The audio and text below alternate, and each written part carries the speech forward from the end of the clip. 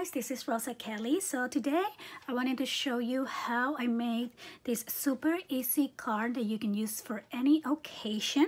I absolutely love this door here. I am using the French Cottage collection and I absolutely love it. So to make this card, the first thing that I did was create these uh, little leaves and flowers. So I stamped those out and I used my Memento ink and then with the same ink I color the inside of the leaves. And then for the flowers I use the rose uh, pink ink. And also I did went ahead and colored the inside. So then I used the shaping mold um, to give the flowers a little bit of dimension.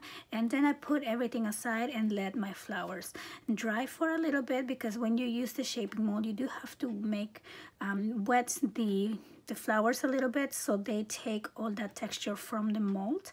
Um, then I went ahead and stamped the door and I just love this stamp here. So, so this is what the stamp looks like and this one is the French doorway. Again, I'm gonna have it on the description box below. So then I use the coordinating die and then this whole thing the stamps as one and I color it using some watercolor pencils and then I went ahead and separated the three different pieces which is the background um, this little stone uh, frame and the door and then I layered them using different um, chipboard pieces. So I use one layer of chipboard for the frame and two layers of chipboard for the door. So I really love how this came out and I hope that you guys enjoy it as well.